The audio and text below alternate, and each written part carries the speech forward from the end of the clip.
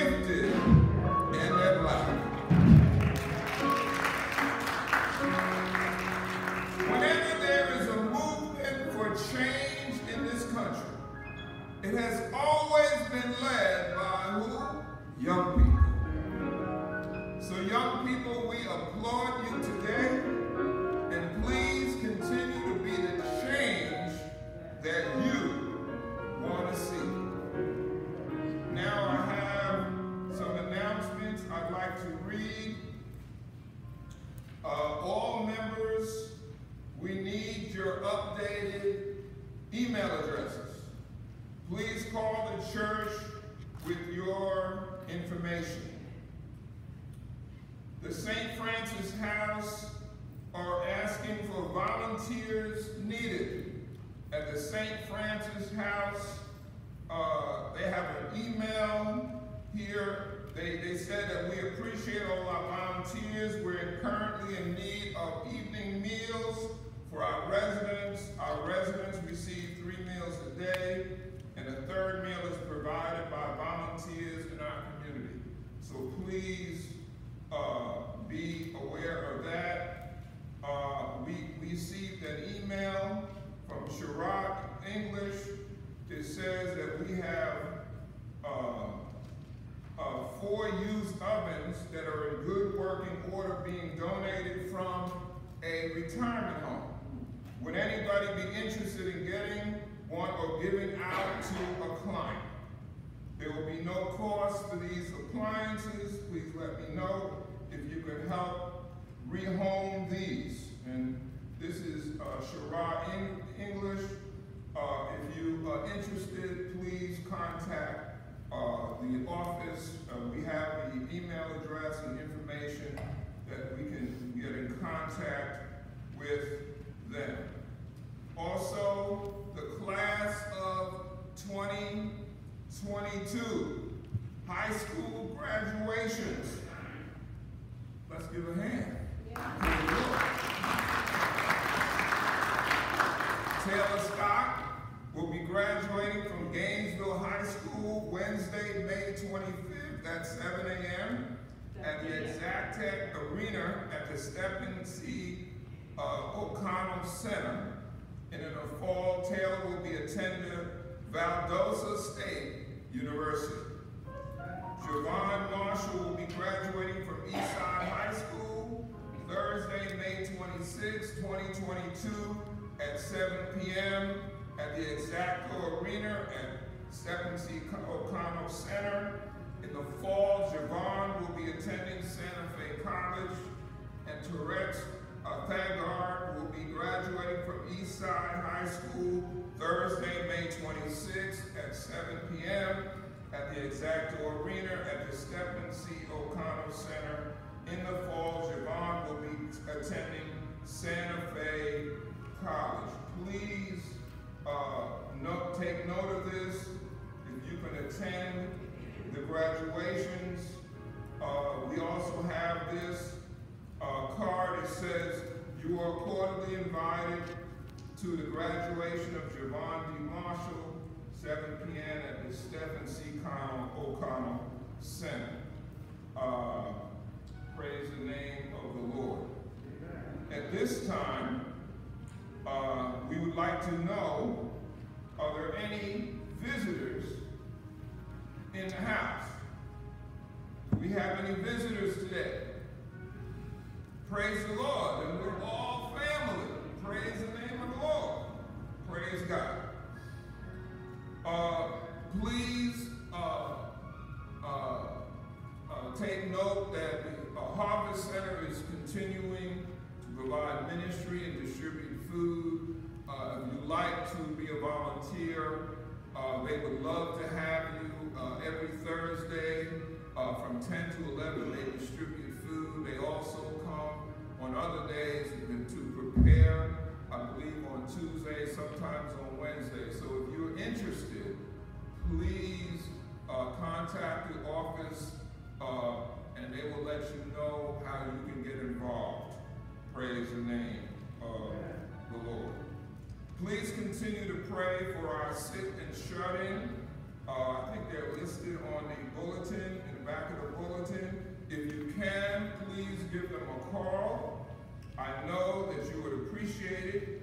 And as Pastor Carol had stated before she lifted up the prayer, please pray for the grieving families that have lost loved ones in this racist mass shooting in Buffalo. Please continue to pray for that and also for that community. That community is devastated, okay, by this particular incident. And not only that community, but a number of communities in the country have been uh, terrorized by these mass shootings. Uh, so please continue to pray not only for these communities, but also for us, for our community, and also for this world. And now, we have an opportunity to participate, all of us to participate in the worship of giving. Praise the name of the Lord. Praise the name of the Lord. Psalmist David wrote in Psalm 116, What shall I render to the Lord for all of his benefits toward me? I will take up the cup of salvation and call upon the name of the Lord. I will pay my vows now in the presence of all of his people. Let us uh, listen to and heed to the word. David said, I'm going to pay my vows now in the presence of all the people. Think about what God has provided for you. All he's asking is one-tenth of what he has given to you in tithes and in offerings. So let's, let's give the Lord what he so richly deserves in tithes and offerings. Lord, we thank you, God, for this opportunity to give back to you what you so richly given back to us in tithes and in offerings. And Lord, I pray, oh God, that you would bless these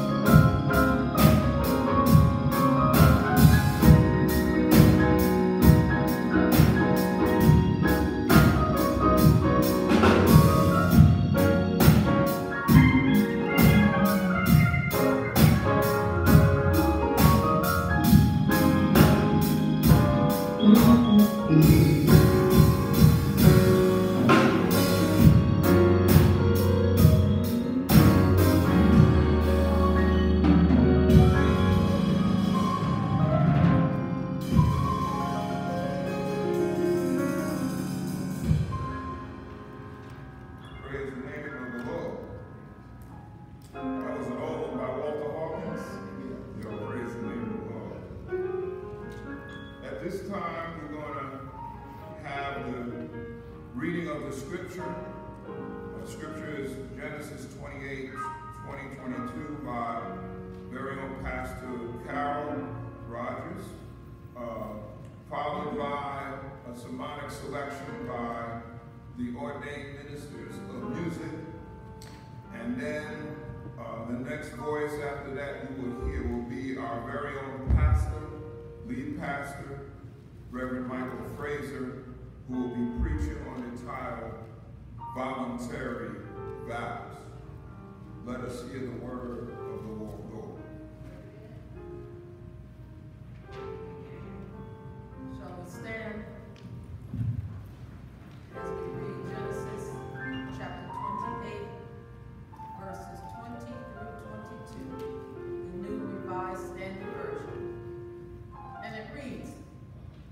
Then Jacob made a vow, saying, If God will be with me and will keep me in this way, then I will go and will, and will give me bread to eat and clothing to wear, so that I can come again to my father's house in peace, then the Lord shall be my God.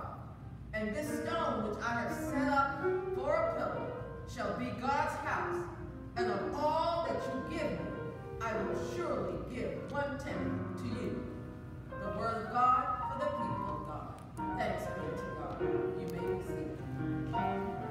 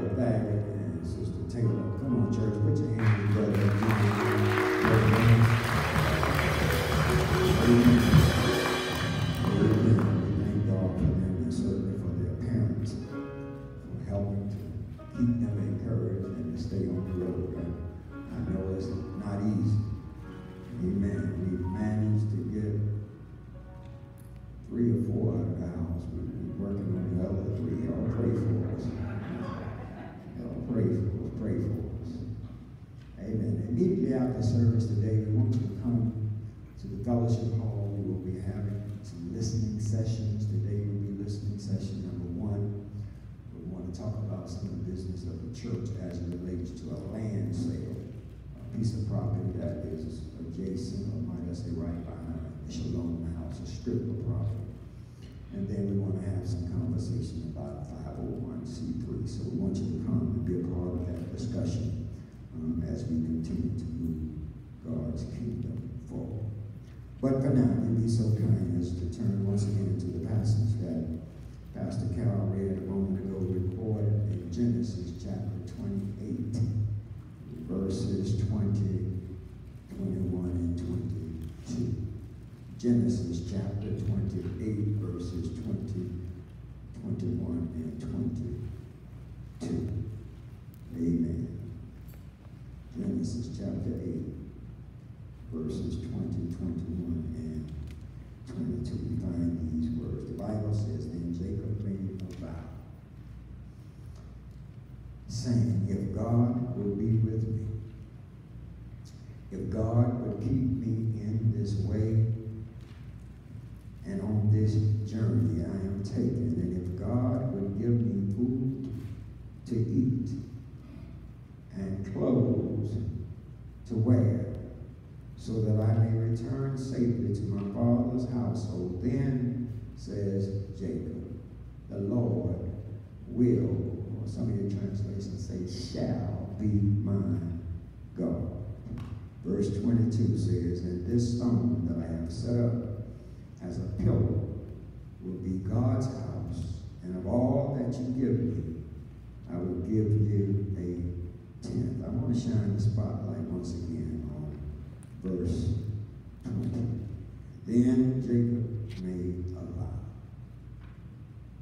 saying, If God would be with me, God would keep me in this way, that I go on this journey, some of your translations say. Jacob ends his gift clauses with the statement that then God, verse 21, shall be my God. For the few moments that we have on this Lord's Day, I want you to pray with me on this subject of a voluntary vow. Come on, say a voluntary vow. Y'all can do better. Come on, say it loud. Say a voluntary vow.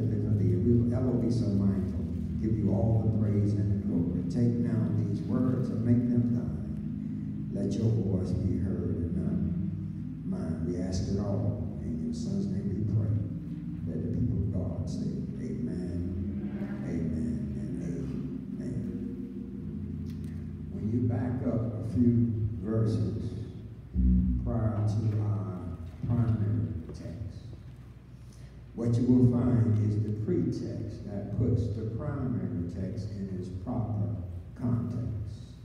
Starting back in verse 16, Genesis chapter 28, where the Bible says, When Jacob awoke from his sleep, he thought, Surely the Lord is in this place. I am in the text. Please keep your Bibles open so you can read along with me. And surely, he said, the Lord is in this place. And I was not aware. Verse 17, he, the Bible says he was afraid, and he said, How awesome is this place? This is none other than the house of God, and it is the gate of heaven. And, and, the Bible says, soon after Jacob had spoken these words, look at verse 18. Early the next morning, Jacob took the stone that had been his pillow, and then, look, set it up as a pillar, and then took oil and poured on it, consecrated it, if you will, as a monument to God. Verse 19 says, He called the place Bethel, which means in Hebrew, the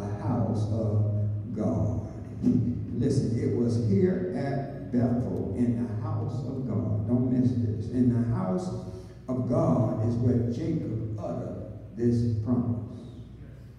It was the house of God. It, it, it was where Jacob made a voluntary vow. Look at verse 20 once again. It says, Then Jacob made a vow, saying, if God would be with if God would watch over me on this journey I'm taking, if God would give me food to eat and clothes to wear, raiment, some of your translations say, to put on my back, verse 21, so that I can come again to my father's house safely and peaceably to my father's house. Look, Jacob said, in peace. Hold up right there. Now, this is where you don't want to read too fast because you'll miss the family drama that is contained in this context today. And, and, if you got your Bible, look at it. I wanted to give you a flashback moment. Look at it. So you see, most of us are aware of why Jacob says in verse 20, come back to his father's house in peace. Because the Bible says Jacob left his daddy's house in pain and in peril. Look, now flip back. Are you there? Chapter 27, verse 41. Look at it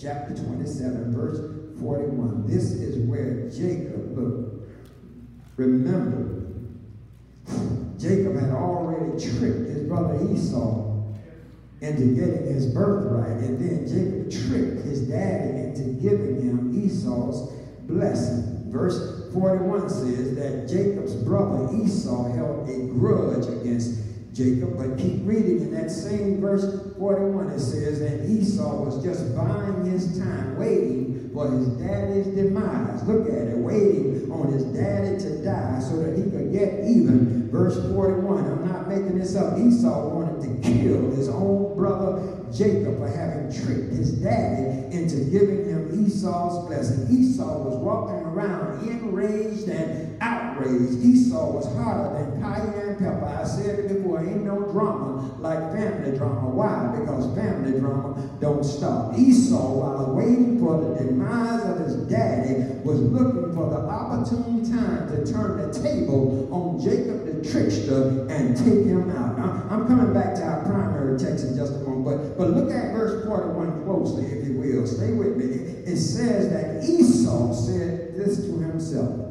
Said it to himself. Now look at it. But apparently, he also said it to someone else, or he said it out loud, or his body language said something. Because in next verse, verse 42, it says, When Rebekah, their mother, was told about it somehow, some way, in some one said something to her about it, and she sent for Jacob, and she told Jacob in verse 43 to get in the wind, huh? Hit the road, Jack, or hit the road, Jacob, and don't you come back, what? No more, more, no more. What you say? Jacob was on the run because of some family drama that he helped to create and to perpetuate. Now that's the context into which our primary text is spoken. Look, now come on back to chapter 28, verse 20, where, where, where now we see that Jacob, we know that Jacob is on the run. When in verse 20 it says, Jacob made a vow to God. Look at it. While he was wandering, a fugitive far away from home, Jacob made this promise when he was away from the protection and the provisions of his parents. Jacob made a vow when he was at his weakest physically, when he was at his weakest financially, and at his weakest emotionally. Verse 20 says Jacob made a vow when he didn't have food on his table, when he didn't have clothes on his back, when he didn't have shoes on his feet. Jacob didn't have a dime to his name, as they say in the country. Jacob was broken and broke with his back up against the wall. He was at the bottom of the bottom. Jacob made this vow when he was in a no-win situation with a no way out. And now Jacob wants to now start making promises to God. Jacob wants to start making vows to God. And if you ask me, Jacob was a card-carrying member of the If Promises Club. Y'all know anybody like that? Don't, don't say that. Don't say that. Don't even look at your name. Folk who make what I call a voluntary vow. Look at your neighbor and I say to him, say a voluntary vow. You know, you know, we make all kinds of vows to God, don't we? Hello, can I buy an amen? We we say we, we not y'all, but we know folk who say, Lord, if you just get me out of this mess I'm in, I promise to serve you to the what? To the day I die. Lord, if you just get me off of this sick bed, I, will give my life to you. Lord, if you just get me out of this debt that am that I'm in, I promise to be a better steward with my resources. Lord, if you would just send me my wife back. Okay, since I'm an equal opportunity preacher. Lord, if you just send me my husband back, uh, or for all my singers, Lord, if you just send me somebody, you know, anybody, not, not anybody, but somebody, any way you bless me, Lord, what? I'll be satisfied. Look, look, look, I ain't gonna ever bug you again, God. I ain't gonna ever be begging you again about anything. I wish I could get an amen right about now. Verse, verse 20, I'm in the text, says, Jacob said in so many words, Lord, if you will be with me. Lord, if, if, if you would keep me from hurt, harm, and danger. In other words, Lord, if you just keep me out of harm's way, Lord, if, if you give me food to eat so I don't have to worry about when and where my next meal is coming from, Lord, if you just give me clothes on, on my back, if you just watch my back, watch over me while I'm on this journey, strange, stranded, and struggle, if, if you would just do this for me. Verse 20 says, while I'm on this pilgrim's journey, verse 21, Jacob said, I'll serve you, and you only will be my. I'm in the text, and what's so surprising about this vow, look at it, is the fact that it was a voluntary vow. Well, Jacob utters this vow on his own volition. Look at it. Please notice God didn't corner Jacob into making this vow. God didn't coerce Jacob into making this vow. Neither did God compel Jacob. Look, Jacob made a voluntary vow. Look at verse 20. Nowhere in this text does it say that God twisted Jacob's arm. Uh, nowhere in this text does it say God put a bow and arrow to Jacob's head or God tried to bully or browbeat Jacob into making this vow. No, Jacob made this vow on his own recognizance. Now, now I must say that when I spent time in prayer and preparation this week, when I first glanced at this text, I must say that I was impressed with Jacob. Hmm? After all, think about it. When he makes this vow, he's a young man. And you love to see what? Young men, young brothers making this level of commitment to God. You love to see young folk, young folks saying, For God I'll live, and what? For God I will die. I mean, really, think about it. What, what pastor wouldn't love to have a church filled with young folk who have made this vow to God, to give back to God, to give in support of the work of God, to, to vow, to give their time, to give up their talents, to give of their treasure in support of the work of God. Think about it. This level of commitment coming from a young. I'm just, I was just impressed with Jacob, and I just believe that God was also impressed with this voluntary vow that Jacob made. But the thing that I believe disturbed God the most about Jacob, and perhaps it's just coincidental, but I believe it's the same thing that disturbed God most about us when we make volitional or voluntary vows, and that is when you close the book on chapter 28 and you open the book in chapter 35, what you will see are two things. The first thing you will see is that God has kept his promise. And the second thing you will see is that Jacob has broken his vow.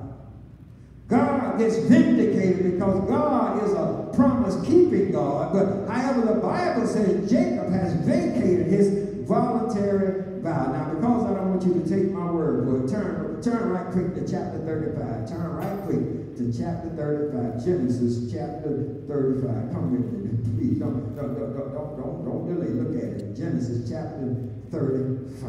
I love it. When, when we leave chapter 28 and move over to chapter 35, please understand that a total of 30 years have passed. 30 years since Jacob made this promise in Bethel. Look, look, look. Jacob from the time when Jacob was a young man and rested his head on the stone in the middle of the night, 30 years later, Jacob became, become a wealthy man. Jacob had become very, a very powerful person in the region in which he was now living. You can see that God had kept his promise. Jacob, 30 years later, y'all, Jacob is living lavishly in Shechem with a large family. Jacob has 12 boys and one daughter. Jacob's holdings were very vast. Make no bones about it. The boy was rich. Jacob owned livestock, the Bible said. Jacob's business was, was booming. Well, they didn't have nothing on Jacob. God had been good to Jacob. God had blessed Jacob. God had blessed him beyond belief, beyond his wildest dream. God has kept every promise that he made, and it is disturbing when you read the first three verses of chapter 35, and it's evidently there clearly that Jacob had become comfortable living in Shechem. And I'm sorry, let me say it again. Jacob had become so comfortable and cozy living in Shechem that he forgot about the vow he made in Bethel. Verse 1 says, Jacob forgot about the vow he made to God when he was running from the wrath of his brother Esau. Look at it. I'm in the text. Jacob forgot to return to the spot of his vow after that heavenly visitation, Jacob, while living in the lap of luxury, forgot about vow that he made to labor in the vineyard of the Lord. Jacob forgot about how he pledged to give back to God in response to the way in which God had given to him. In verse 1 of chapter 35 is the revelation or the indication, might I say, that Jacob had forgot about the vow he made to build an altar to the Lord in Bethel because he had gotten wrapped up in his wealth in Shechem and, and how easy it is to forget the promises we make. And this is from the pulpit all the way to the last pew. How easy it is to forget the vow we make when we're searching and scared now that we're living in the security of Shechem. I, I love it. How easy it is and comfortable to get accustomed to the good times of Shechem that we forget about the vows we made during the bad times at Bethel. How, easy it is on Sunday to, to sit in the comforts of our home and forget about the God who makes life living Sunday through Monday. Now that's what been saying that. I, I, need you to just step a little closer to the text as I hurry on. Let me show you some other lessons that the Lord showed me as, as we glean from this narrative. Look, the, the obvious takeaway from this text, and I'm gonna hurry on. Look at the obvious takeaway. This is just a footnote. Come on, say footnote. Verse 1, verse 1 teaches that our memories are short, but God's memory is long. Somebody missed that. Nudge your neighbor, wake them up. Tell them, wake up, wake up. He just said something important. Tell them. Say, our memories are short, but God's memory is long. Oh, see, I can't remember stuff I said last week. That's more last month. Some of us can't remember stuff we, we said or did last night. Hello. But look at this text. Look at this text. God is reminding Jacob about a vow he made 30 years ago. Our memories are short, but God's memory is what? Long. Look, look at verse 1. God had to remind Jacob about the vow he made in verse 1. Look, God said to Jacob, Go up to Bethel and settle there. Dwell there and build an altar there to God who appeared to you when you were fleeing from your brother Esau. That's lesson number one. Lesson number one is the lesson of remembrance. Huh? Jacob needed to be reminded by God about a, about a vow he made to God in Bethel. Jacob had gotten off sinner, and the Bible says that God showed up to put him back on sinner. God says to each of us what he said to Jacob when we get off sinner, when we get away from God, when we get away from the voluntary vows we made to God, that not only is this a time of remembering or reflecting, but God says in this text, lesson number two, that this is also a time for returning. Come on, come on, say remembering. Now say returning. Look at verse 1. God tells Jacob to do what? To return to Bethel. I love it. To return to the place of your vow. And, and Jacob, look at it. Jacob, look, God had to remind Jacob, just like he has to remind us. Look at what God told him. Arise and go back to Bethel. Huh? Look at it. Arise and go back to the old spiritual landmark. Look at verse 2. This text teaches them, yes, after engaging in remembering and after engaging or before engaging in returning, there's what I call the in-between lesson in this text. Look at it. And that's lesson number three. That is the lesson of removing. Come on, say remembering. Come on, say, say, say it like you mean. Say remembering, returning. Now say removing.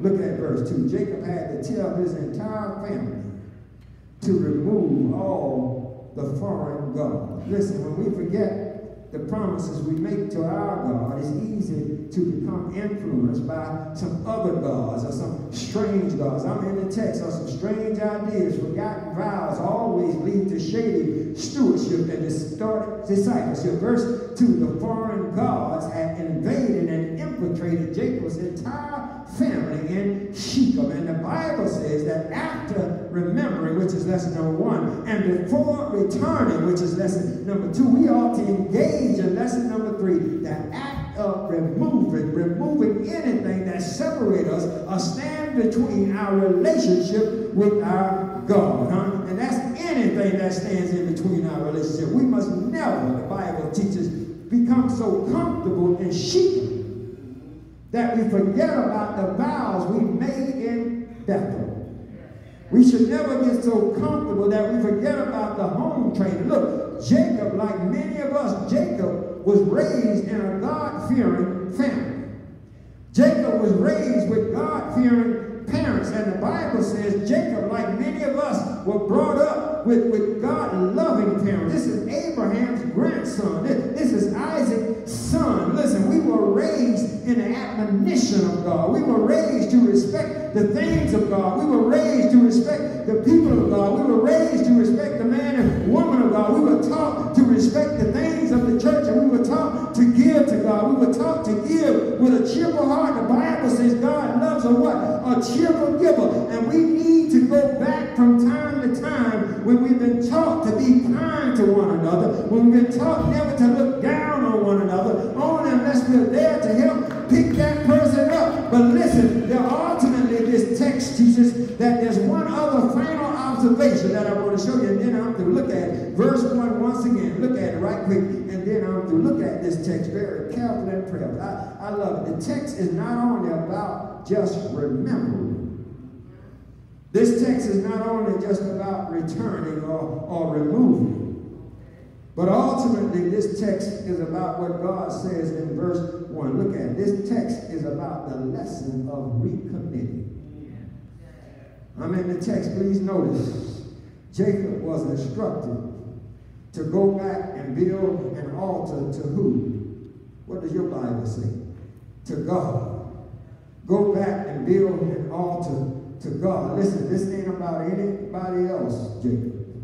This volitional vow is between Jacob and God. Look at it. Jacob is instructed to go back, in other words, and build an altar to the one who had brought him through many dangers, toils, and snares. Yes, God is calling Jacob to go back to the place of his first blessing. And God is calling him to go back to the place of his first beginning. Yes, that place where things of God were exciting, things where God were fresh, where you felt the presence and the power of God operating in your life. God told Jacob to go back to that place so that he can remember. It's like the song our ancestors used to sing, Take me back, dear Lord.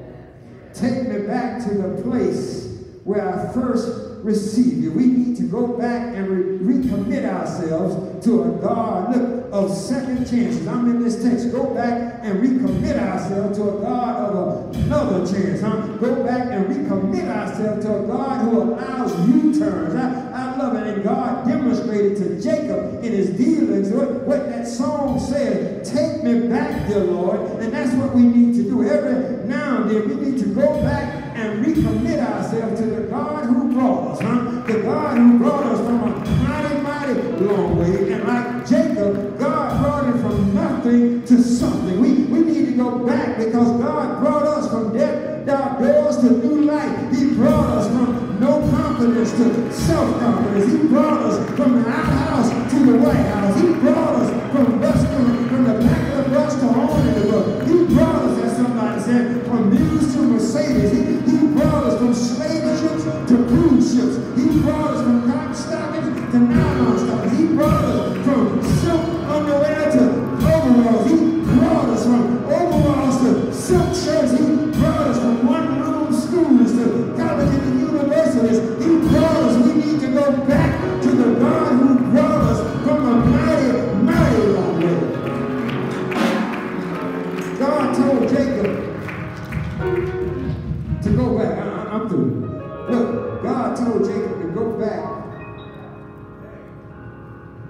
to death.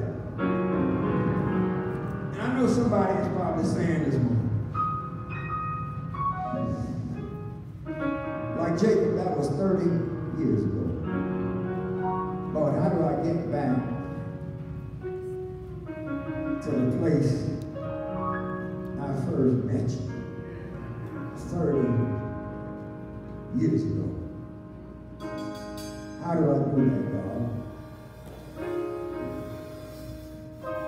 See something in the scripture. God is God in Bethel, just like he's God in Shechem. Let me say that again. God is God in Bethel, just like he's God in Shechem. In other words, God will meet you just like he met Jacob in Bethel. God showed up and met Jacob again in Shechem. What does this tell us? God will meet you no matter where you are. That's what the Bible teaches us. He'll meet us right where we are and inspire us, encourage us, nudge to come on back and have a closer walk with. And sometimes in order to do that, we've got to remove some things as we make our way back to that place. Come on, stand to your feet, listen, and as you stand, he'll meet you right where you are, standing at your feet. Right where you are. You don't have to go back to God. You can say, Lord, right here, right now, I want to recommit myself. And then you give me the strength to remove,